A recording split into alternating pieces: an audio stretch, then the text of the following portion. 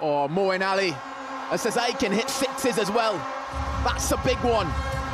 And finish the innings too, so such a handy player to have.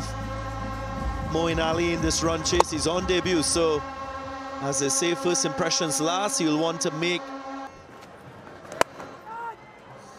Oh, Moeen Ali is in full flow at the moment. Oh, peels off the edge. Will take some catching.